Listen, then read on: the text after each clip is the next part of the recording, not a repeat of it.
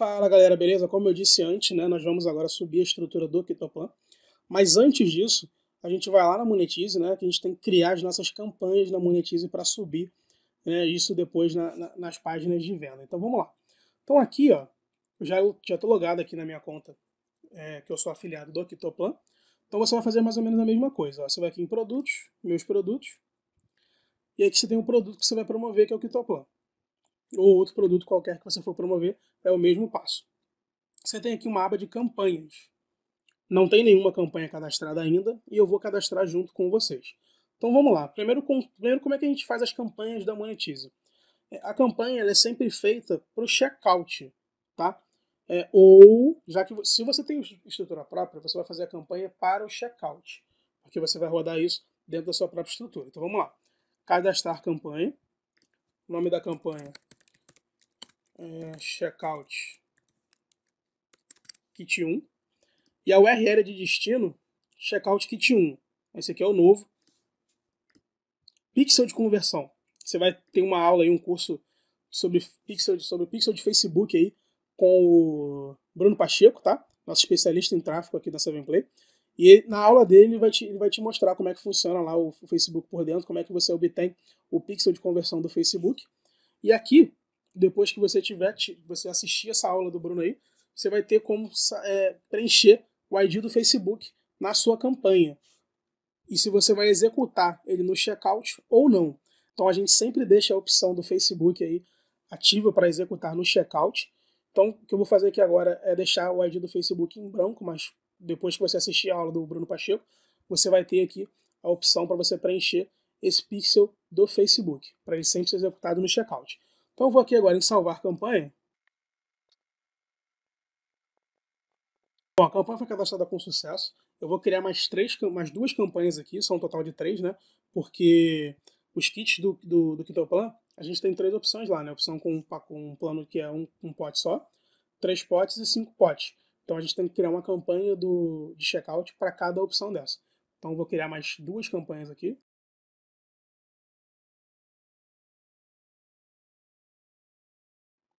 Depois de cadastrar essas campanhas, você pode testar o link clicando aqui nessas setinhas. Ó. Kit 1, está indo para o checkout certinho. Kit 2, também está indo certinho. Ó. Confere aqui, ó, sempre. Ó, um, ó. Kit 1, um pote. Kit 2, três potes, está indo certinho. E o kit 3, cinco potes. Ok. As campanhas foram cadastradas. Você já tem os links né, dessas campanhas aqui. E aí a gente vai subir a página de vendas agora, a pré-sell e a página de vendas lá no Optimize Press. Então, deixa eu voltar lá para o nosso curso 7 Play. E como é que a gente faz? A gente vem aqui em Optimize Press, clica em Create New Page, e aqui a gente tem como buscar as páginas que a gente quer subir. Vou clicar aqui em Browse.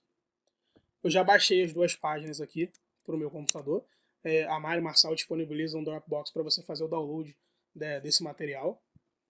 Vou clicar aqui em abrir ele vai subir os dois arquivos ao mesmo tempo para o nosso, nosso site. Bom, as duas páginas foram instaladas com sucesso, né? Então, o Optimize Press te possibilita isso, né? A gente desenvolve as páginas no Optimize Press, exporta essas páginas e vocês conseguem importar é, no site de vocês sem ter muito, é, muito sem ter que ter muito conhecimento técnico para fazer isso. Então essas páginas, se você continuar descendo aqui, elas vão estar aqui embaixo como template, né? Então eu tenho aqui o advertorial e eu tenho a página de vendas. Então primeiro eu vou colocar o advertorial. Aqui, quando ele pede para você colocar o nome da sua página, ele está pedindo para você definir o nome da página e ao mesmo tempo ele coloca aqui a URL dessa página. Como a gente não tem página nenhuma instalada no, no, no site, se eu clicar aqui para checar, ele vai me dar que eu posso utilizar esse, esse nome e essa URL. Mas se eu já tiver alguma página com a URL de é, curso7play.info barra adv, ele vai dar aqui que eu não posso utilizar, então você vai ter que botar um 2 ou então inventar algum outro nome para sua para sua pré-sell. Então vou clicar aqui em Create Page. E aqui já está a pré-sell, né, da cabeleireira, que é a pré-sell nova do Kitoplan, já tem aí as imagens, tudo certinho. Já tem tudo configurado aqui no Optimize Press para você. O que você tem que fazer aqui agora é vir aqui e clicar em publicar salvar e continuar.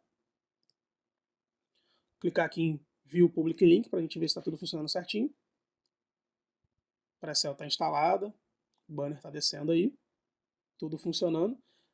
E aqui, ó, a configuração que a gente coloca aqui padrão do, dos links é que ele sempre vai jogar para kitoplan.com.br, tá? Caso você esqueça de trocar, você sempre joga para o site oficial. Como é que você vai colocar para ele jogar para a página de vendas que está instalada no seu site? Você vai vir aqui em Page Settings, Other Scripts, e eu sempre deixo separado, né, bem, é, o último script aqui do, do Optimize Press para você colocar o link da página de vendas.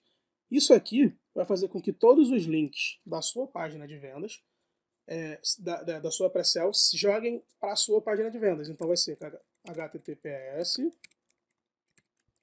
dois pontos barra barra curso 7play.info barra pv. Por que barra pv?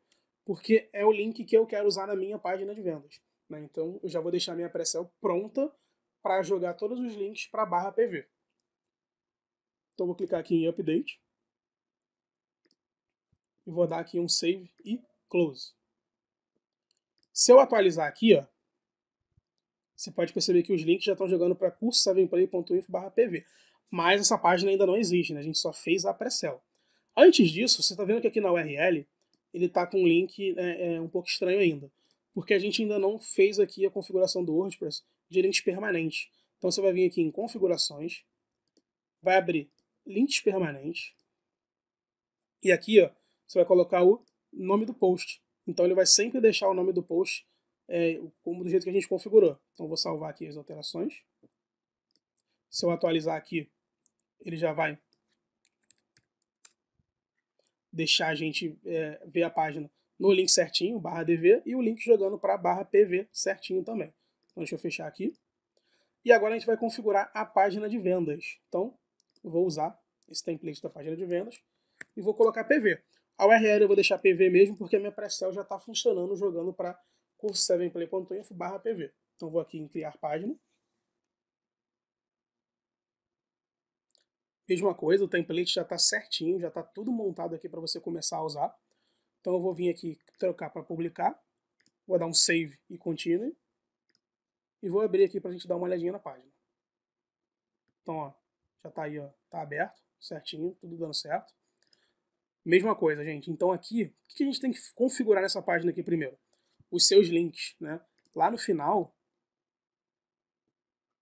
no meio da página, apertar nesse botão aqui, você vai ver que a gente tem aqui os kits do Octoplan, kit 1, kit 2 e kit 3.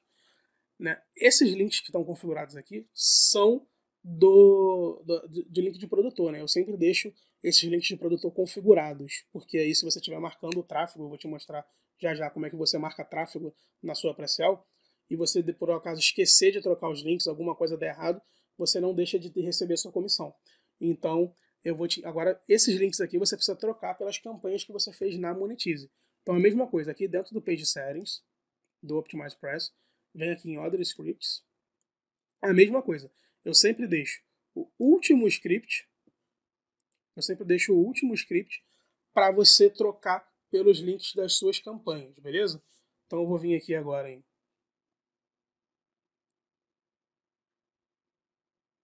Então eu vou aqui agora na Monetize. E aí eu tenho aqui o checkout do kit 1, do kit 2 e do kit 3. Então agora eu vou copiar aqui o kit 1. E vou trocar aqui pela variável que está setada com o kit 1. Vou voltar lá pegar o kit 2. Vou, vou cadastrar os três links aqui.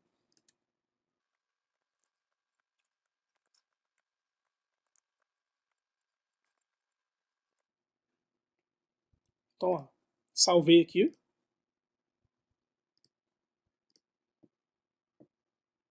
Deixa eu mudar aqui para barra PV, que já vai estar tá funcionando.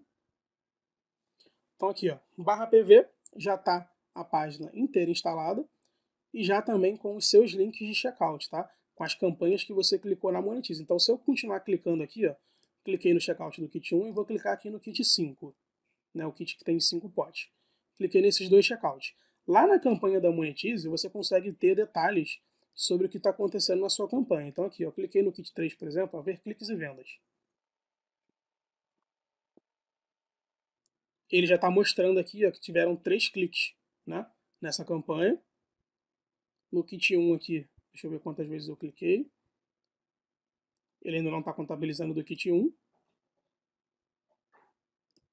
nem do kit 2. Ele contabilizou só os três links aqui no kit 3. Daqui a pouquinho essa informação vai ser atualizada. E aqui ele já vai te dar também o número de vendas, que está zerado, e o CTR aqui também, que ainda está zerado, tá? Mas ele vai, ele vai atualizando essas informações de acordo com os cliques na sua campanha com o número de vendas. E aí você consegue acompanhar aqui pela campanha. Então, o que a gente fez nessa aula? A gente instalou é, as nossas páginas de venda no nosso site e a gente também criou as campanhas da Monetize, né, para poder redirecionar para o checkout e a gente ser comissionado pela venda. Então, gente, até a próxima aula aí. Forte abraço.